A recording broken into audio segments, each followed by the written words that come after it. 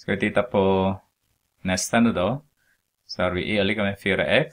Men den andra måste vi skriva i k-form. Så e är lika med 4x.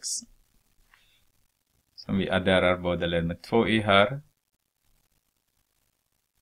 Så har vi 2i är lika med eh, vad blir det? 5x. Så 3 med 3. Dividerar med 2 där, dividerar med 2, dividerar med 2. Så har jag y är lika med 2,5. x sätter jag med 1,5. Okej, okay, så här är y är lika med 2,5 x sätter jag med 1,5. Okej, okay. och sen letar vi efter x och efter y. Okay. Vi skulle gärna använda mina räknare som sagt, jag använder mina räknare som heter eh, Casio FX9750. Det är den som jag kommer. Och det första man ska göra för att rita den så tar man meny. Och sen tar vi graf. Exe. Execute. Och då se till att ni har den här i lika med där uppe. Det betyder att uh, det kan ändra där. Se till att det är exakt samma som jag har. Sen skriver vi 4. X, den x är inte den multiplikation, det ska vara den här som är under alfa. Okay, kom ihåg det. Sen x igen. Sen har vi 2,5 x. Det x är under alfa. Eh, knappen alfa då. Och sen minus 1,5. Där. Sen tar vi draw, alltså F6.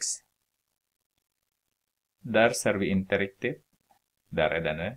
Nu ser jag det.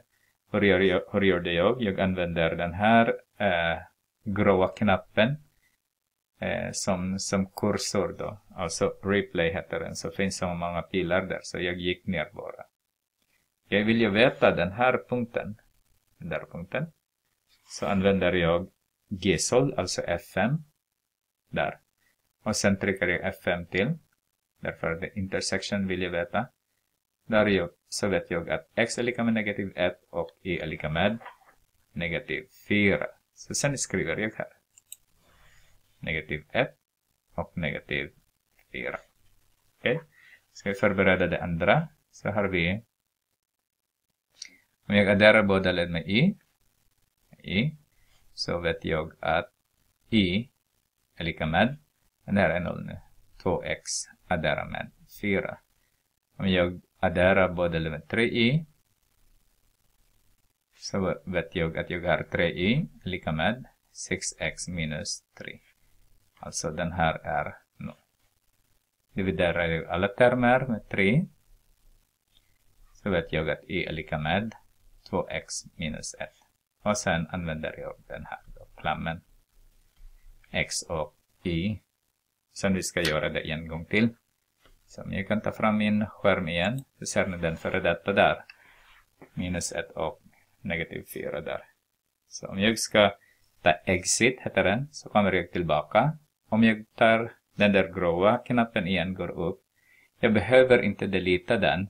Jag kan bara skriva direkt min, min ekvation. Så har jag 2x. Adderar med 4. Det räcker där. Och den nästa är 2x minus 1. Och det ska vara draw. Det syns inte. Mm. Varför det tror ni? Att den går inte, inte samma. Eh, den kommer inte träffa. Varför det tror ni? Jo, på grund av den här. Jag har y är lika med 2x minus 1.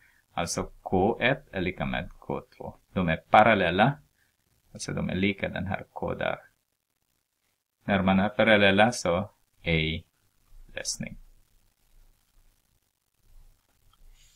Mm.